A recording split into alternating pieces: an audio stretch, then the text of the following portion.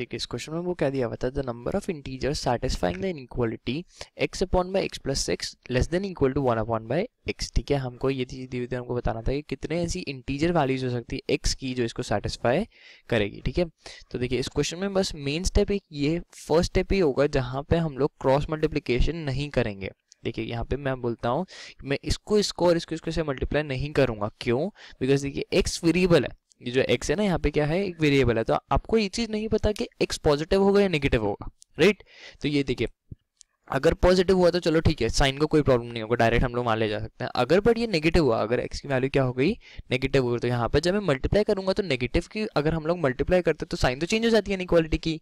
तो यहाँ पे ये तो इसको प्रॉब्लम हो जाएगी, ठीक है? तो मैं यहाँ पे एक दूसरा स्टेप करता हूँ मैं अच्छा क्या करता हूँ? ये जो वन अपॉन एक्स है, मैं इसको इस साइड लेकर आता हूँ, देखिए। X upon by x plus six minus one upon x that is less than equal to zero, इस तरीके से लिखता हूँ।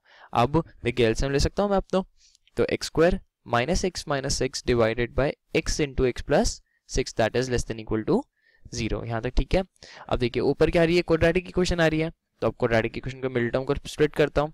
तो minus three x plus two x minus six whole divided by x into x plus six that is less than equal to zero ठीक है? तो अब इसमें से कॉमन क्या निकाल सकता हूँ? स्टार्टिंग के दो टर्म्स में से एक्स क्या बच जाएगा मेरे पास में? x माइनस थ्री इन दोनों में से कॉमन प्लस टू क्या बच जाएगा मेरे पास में? x minus three whole divided by x into x plus six that is less than equal to zero तो देखिए, x प्लस थ्री मतलब x plus two into x minus three whole divided by x into x plus six that is less than equal to zero. यहाँ से ये चीज़ clear हो गई। तो अब देखिए, मेरे पास में नंबर लाइन बनाऊँ अगर मैं तो मेरे पास क्रिटिकल पॉइंट्स कितने कितने क्रिटिकल पॉइंट्स कितने कितने होंगे?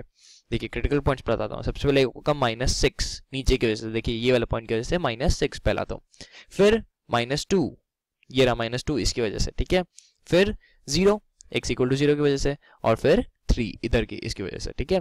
तो आप देखिए, हमको क्या बोला हुआ है कि नेगेटिव वैल्यूज़ बतानी है तो नंबर लाइन में कैसे करते हैं हम लोग? पॉइंट रिज्यूम करते हैं। तो मैंने बोला, सबसे पहले एक बार मानता हूँ कि माइनस सेवन है मेरा। एक्स की वैल्यू क्या है? माइनस सेवन है। तो देखिए, ये वाला जो होगा, ये वाला जो पॉइंट होगा, वो क्या होगा? Negative because minus seven plus two negative minus seven minus three again negative minus seven negative and minus seven plus six negative तो negative negative positive negative negative positive तो होल वैल्यू इज़ पॉजिटिव मतलब ये whole value is positive ठीक है? अब next minus six से लेकर minus two कोई भी वैल्यू लेते हैं सपोज़ करो माइनस थ्री तो माइनस थ्री पे ये नेगेटिव ये वैल्यू नेगेटिव ये वैल्यू भी नेगेटिव ये वैल्यू नेगेटिव और ये वैल्यू पॉजिटिव देखिए एक्स प्लस सिक्स वैल्यू क्या है? पॉजिटिव है तो ये नेगेटिव नेगेटिव पॉजिटिव ये नेगेटिव तो ये हो गई नेगेटिव वैल्यू बिकॉज़ ये तो पॉजिटिव है तो ये हो गया नेगेटिव ठीक है? अब माइनस टू से लेकर ज़ीरो के बीच माइनस वन अज्यूम करते हैं एक बार माइनस वन तो माइनस वन भाई ये पॉजिटिव ये वाली वाली पॉजिटिव ये नेगेटिव ये नेगेटिव ये पॉजिटिव तो पॉजिटिव नेगेटिव नेगेटिव कैंसिल हो गया पॉजिटिव हो गई पूरी वैल्यू तो ये पॉजिटिव ठीक है? अब ज़ीरो से थ्री ज़ीरो से थ्री में एक बार वन मान लेता हूँ तो पॉजिटिव नेगेटिव पॉजिटिव पॉजिटिव तो नेगेटिव ये वाली क्या हो गई?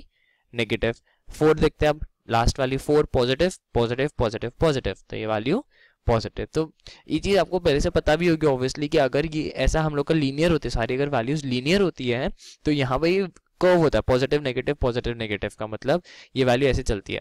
पहले पॉजिटिव होता है, फिर क्रिटिकल पॉइंट पर नेगेटिव हो जाता है, फिर वापस पॉजिटिव फिर वापस नेगेटिव और फिर वापस पॉजिटिव फिर ऐसा चलता रहता है। ठीक है ना? ये ऐसा कर्व टाइप का चलता है इसमें हमेशा ही।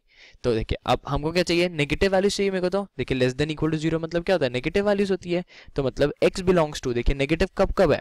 माइनस सिक्स से लेकर माइनस टू मैं इंक्लूड कर सकता हूँ उनको भी। बिकॉज़ इक्वल टू है ना यहाँ पे तो देखिए लेस देन इक्वल टू है तो माइनस सिक्स से लेकर माइनस टू यूनियन ज़ीरो से लेकर थ्री तो अब नंबर ऑफ़ इंटीजर्स कितने आएँगे?